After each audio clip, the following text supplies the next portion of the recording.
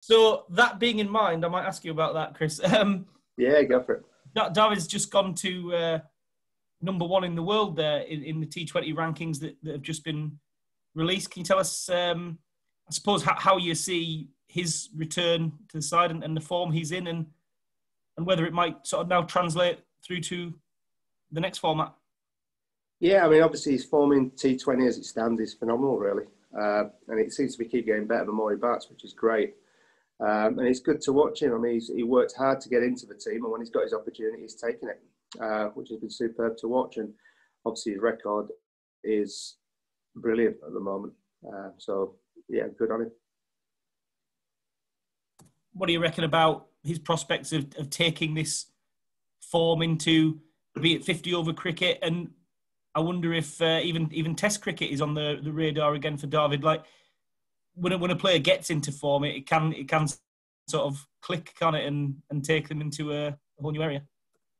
Yeah, obviously he's, he is in great form, uh, but again, I mean the 50 over format is a tough team to get into, uh, you know, which I believe has already been spoken around. Um, so he will, you know, I mean, if the opportunity comes around, I'm sure he'll grab it with both hands. But he, I mean, it, it may be a case of he has to wait for that opportunity because it is a tough team to get into. And and where are you at with a couple of your uh, injuries and, and stuff in terms of this 50 over team? Obviously, yesterday you're missing four four of your top six, really, your ideal top six for various reasons. Are you expecting Joss to be back, for example, and and how's Owen looking? Yeah, uh, Joss will be back uh, in the bubble to join us at Manchester. In sort of barring sort of test results not turning up on time or anything like that, really, he should be he should be available to play. Owen, uh, obviously good news around his finger. Uh, so touch wood, he will he'll be fit as well.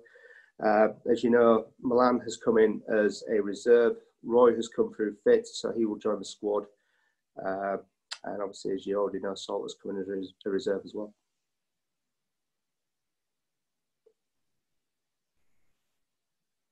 Okay, uh, we'll move on to Will then. Thanks, uh, Rory.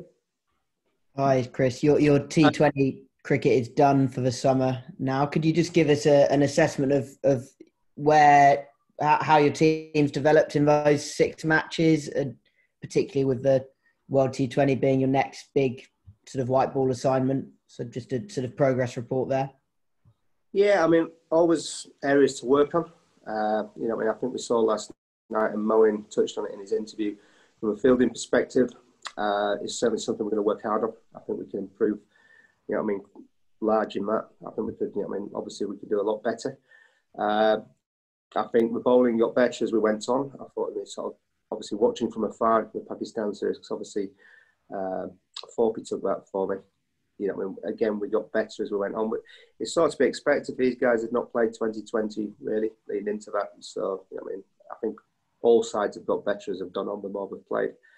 Uh, but we've showed that you know, we have got a powerful batting order uh, and we've stuck to his guns, which is good. You know, we play positive, aggressive, smart cricket, and we'll keep pushing that. You, you're sort of known in white ball cricket as a as a batting team, and you know, that extraordinary top order in, in 50 over cricket. But do you think in this Australia series, possibly the bowlers actually outshone the batsmen and showed that you've got a bit more about you, I suppose, as a team? I think the bowlers have done really well, and as I say, they, they got better as they went on. Uh, I mean, it was exciting to watch the pace of, of Wood and Archer in those games as well. You know, to see bowlers, I mean, consistently getting above 90 mile an hour, really. And obviously they had Starc on their side as well. It was exciting. Rash doing his thing, really, sort of bamboozling people with his spin. Uh, so I think it does. I mean, it shows that we have got a, a core group that are very exciting and very competitive.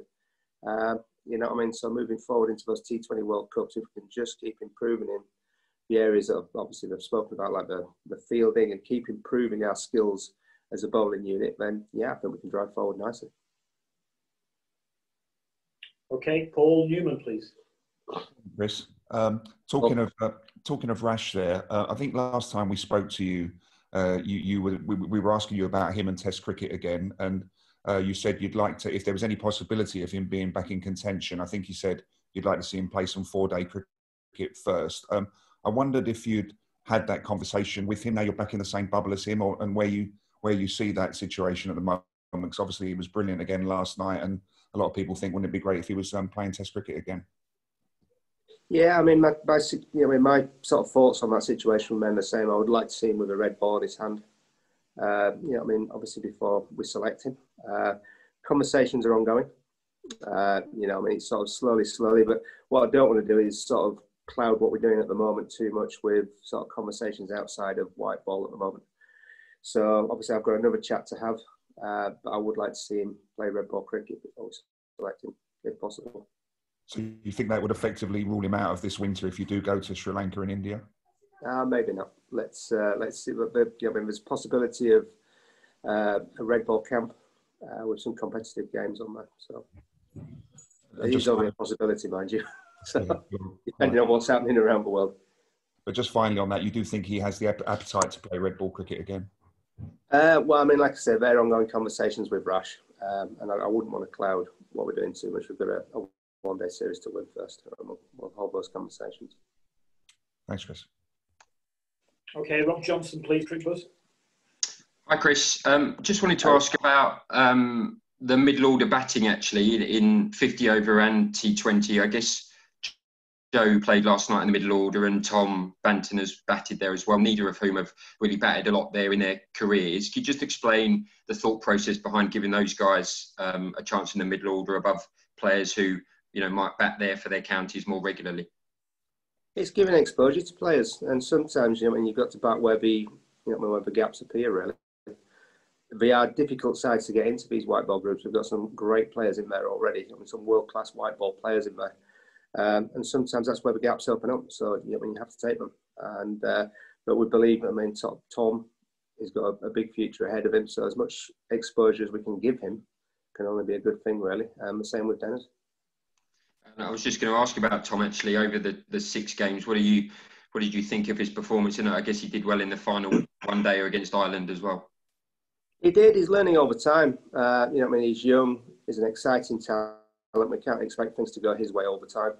Uh, you know, I mean, we've got to sort of look at him with a, a bigger picture in mind. Thank you. Any more questions?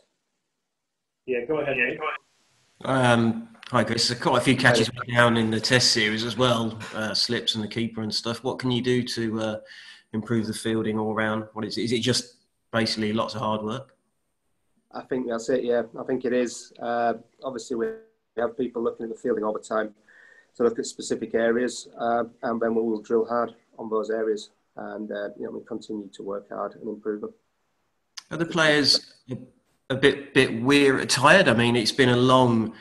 I know it's been a, a, a contracted season, but they played a lot of cricket in a, in in the last few weeks in the bio bubble as well. I mean, are you sensing that the lads are a bit knackered?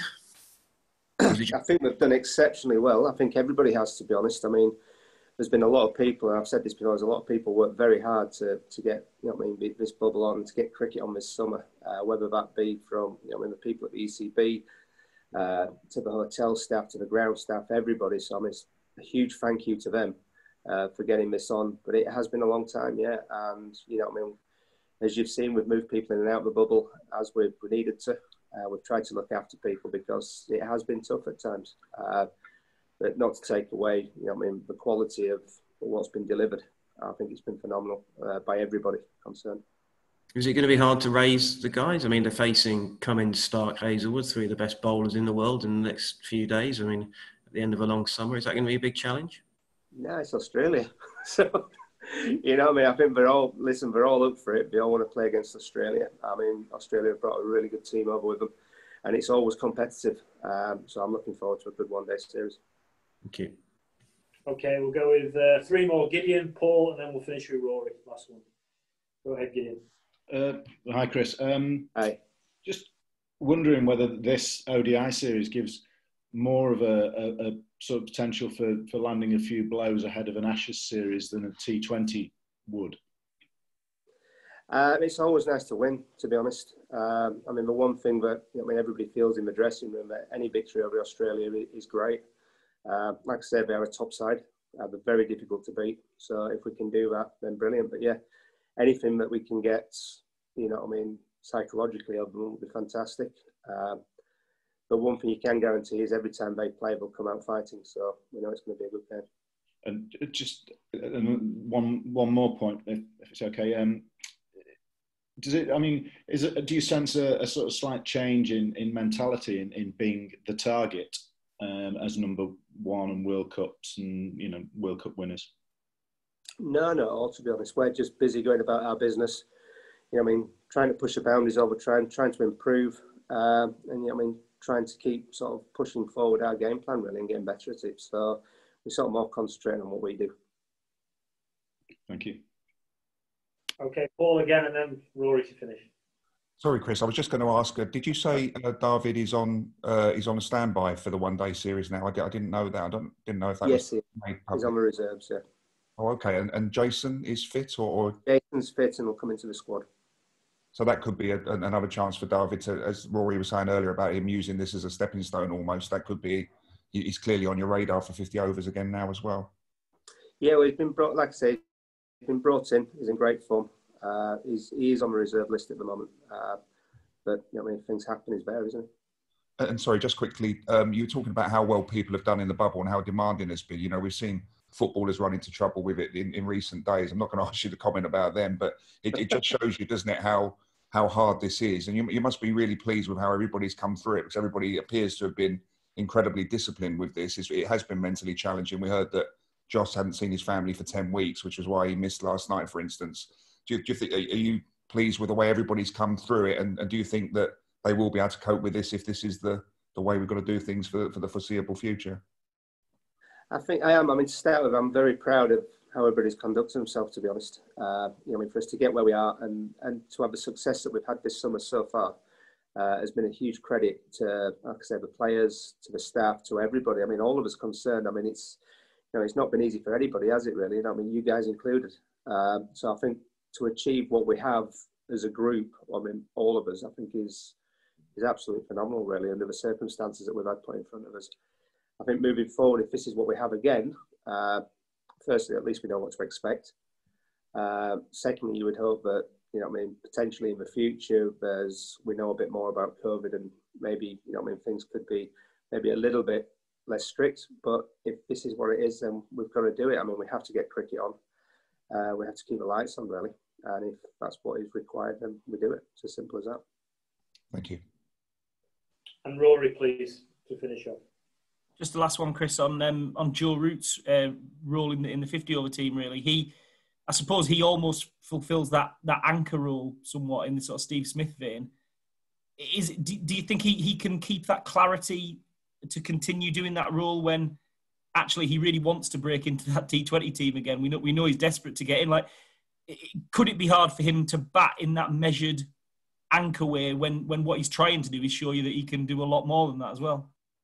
No, I think he's very good at sort of keeping the two in separate, to be honest. Um, you're right, he is desperate to get in that 20 over team, and it's great that you've got somebody of his calibre going away and, I mean, wanted to play county cricket, play the, in the T20 and, and show us what he could do. I thought it was superb from Joe. Uh, but I don't think he'll have any trouble fitting back into the role that he plays. He knows his role in that one day team. It's a very important role. Uh, and, you know, I mean, he is the rock there, you know, what I mean, in that role for us. Okay, just before we go, just to clarify on, on the changes to the squad, um, just so everybody's clear, uh, Jason Roy comes in to make it a 14 man squad. Dawid Malan is now a reserve, and Joe Denly's left the bubble and, and, is headed back to Kent, so he's going to play some county cricket. So the two reserves from memory are Saqib Mahmood and uh, Dawid Malan for, for this Salt. period. Oh, and Phil Salt, of course, yeah, Phil Salt.